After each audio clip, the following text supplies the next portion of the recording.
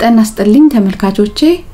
በዛሬው ቪዲዮዬ ፈጣን የበሬ ስጋ ጥብስ በአትክልት አሰራር ይዤላችሁ ቀርቤያለሁ ቪዲዮን አይታችሁ ከወደዳችሁልኝ like share እና comment ማድረግ አትርሱ። አመሰግናለሁ። ወደ አሰራሩ እንሄዳለን።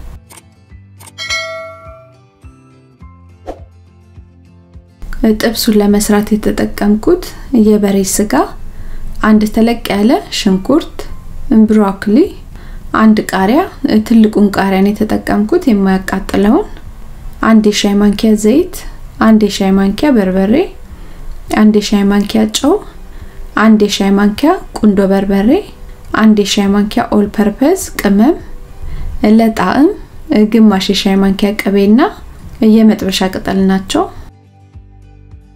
ሽንኩርቱን በቁመቱ ከትፌ ድስት ውስጥ አድርጌዋለሁ ውሃውን መጦ እስኪጨርስልኝ ድረስ አቁላለዋለሁ።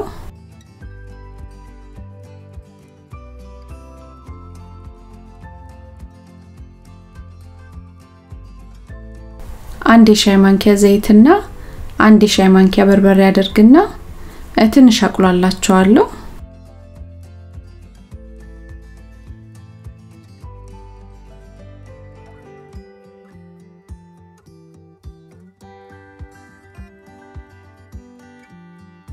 በርበሬውና ዘይቱን ብዙ ማብሬ አላቁላላቸውም። ስጋውን ካስገባ በኋላ በደንብ ስለማቁላላቸው እዚህ ጋር ብዙም አላቁላላቸውም። እያዘጋጀሁትን ስጋ አስገባና አብሬ አቁላላቸዋለሁ። ስጋው በደንብ ብስል እስኪል ድረስ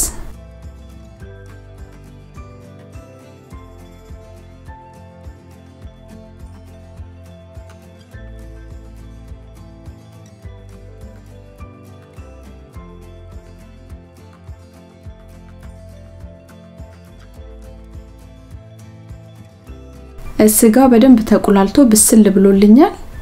አንድ የሻይ ማንኪያ ጨው አስገባለሁ።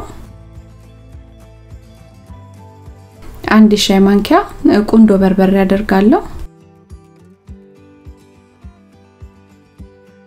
ከ all purpose ዱቄቱ አንድ የሻይ ማንኪያ የሚያህል አስገባና አብሬ አቁላላቸዋለሁ። ቅመሞቹን እናንተ የመረጣችሁትን ወይም ያላችሁን ቅመም መጠቀም ትችላላችሁ ስጋው ብስል ብሎልኛል። ብሮኮሊውን አስገባለሁ። ብሮኮሊውን ትንሽ ቁሌቱን እንዲይዝ ገልበጥ ገልበጥ አድርጌ አቁላለዋለሁ።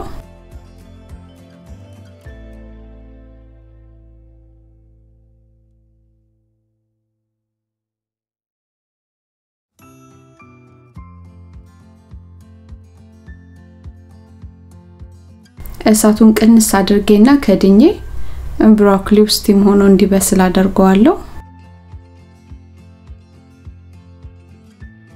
ከስድስት ደቂቃ በኋላ ብሮኮሊው በስሏል።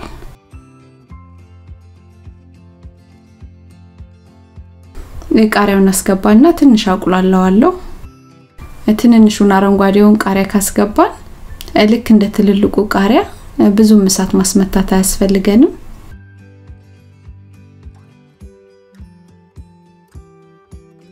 ግማሽ የሻይ ማንኪያ ቅቤ ለጣዕም አስገባለሁ።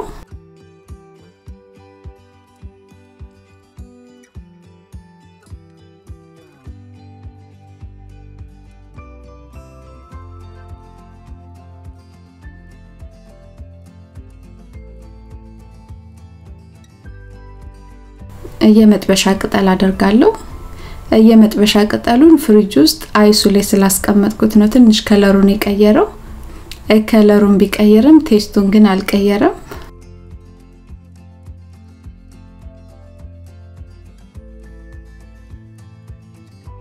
ጥብሱ በመጨረሻ ይሄን ይመስላል።